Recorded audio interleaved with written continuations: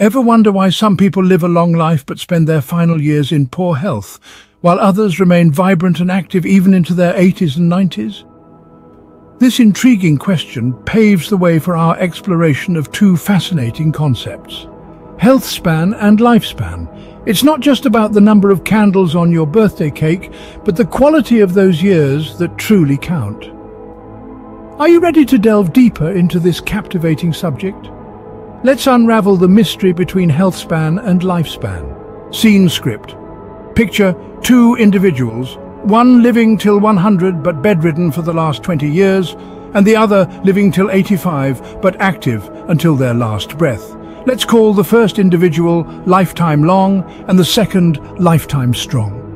Lifetime Long, despite reaching the ripe old age of a hundred, spends his twilight years confined to a bed, reliant on others for everyday tasks. The world outside his window continues to spin, yet he is a mere spectator, detached from the vibrancy of life. His lifespan is impressive on paper, but is it truly a life well lived? Now picture Lifetime Strong. He lives until he's 85, but unlike Lifetime Long, he remains active and involved until his final days. He's dancing at family weddings, he's hiking on Sundays, he's spinning tales for his grandchildren. His life may be shorter in years, but it's brimming with rich experiences and meaningful interactions.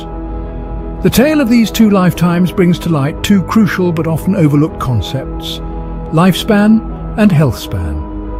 Lifespan is the total number of years someone lives, like our friend Lifetime Long, who made it to 100. But as we've seen, a long life doesn't necessarily equate to a fulfilling one. Enter health span. This refers to the number of years a person lives in good health, free from chronic diseases or disabilities that limit their physical or mental function. It's the quality of life that Lifetime Strong enjoyed, actively participating in life up until his last breath. In this comparison, it's clear that a long lifespan without a corresponding health span can feel more like a sentence than a celebration. It underscores the importance of not just adding years to life, but life to years. So it's not just about how long we live, but how well we live.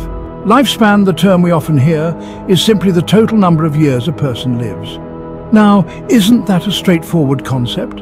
It's like counting the rings on a tree trunk to determine its age. Each year, one ring, each ring, another year lived. But let's not be fooled by its simplicity.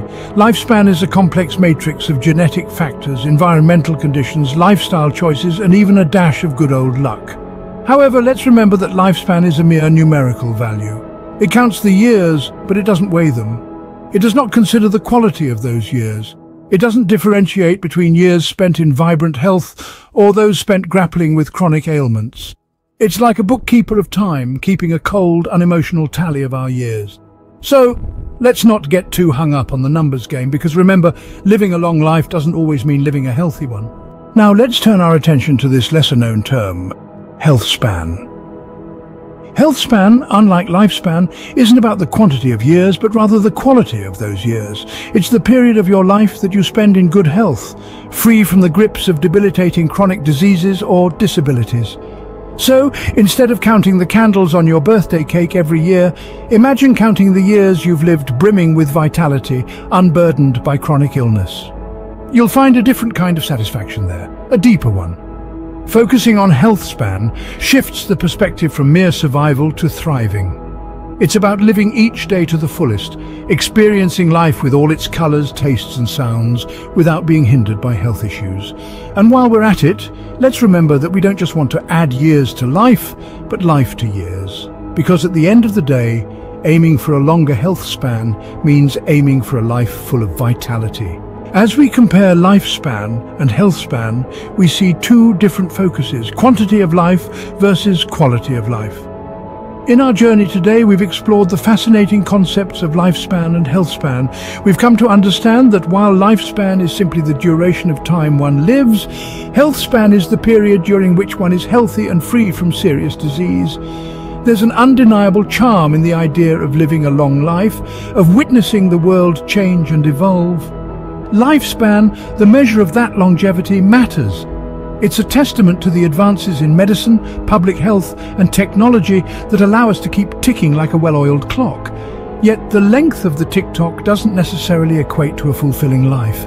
This is where health span enters the stage, stealing the spotlight with its focus on the quality of life. Health span is about making those ticking moments count, about ensuring that our lives are not just long, but also vibrant and healthy. It's about adding colour to the canvas of our existence. Think of it this way. Lifespan is the broad, sweeping brushstroke that outlines our life's painting, while health span is the palette of vibrant colours that bring that painting to life. Lifespan gives us the framework, health span fills it in. Now the question is, would you rather have a life that's simply long, or a life that is long and full of vitality? A life where you're not just surviving but thriving. The answer seems clear. We should aim for a long health span, not just a long lifespan. This means focusing on preventive healthcare, on maintaining a balanced diet, on keeping our bodies active and our minds sharp. It means prioritizing mental health and emotional well-being. It means understanding that our health is our wealth and that a long life without health is like a rainbow without colors. It's missing the very essence of what makes it beautiful. So let's embrace the concept of health span. Let's prioritize our health and well-being. Let's aim for a life that's not just measured in years, but in joyful, healthy moments. In the grand scheme of things, it's not the length of our life that truly matters, but the life we infuse into those years. It's not about reaching a certain age, but about reaching that age with vigor, health and happiness. Remember, it's not just about adding years to life, but life to years. Strive for a long health span, not just a long lifespan.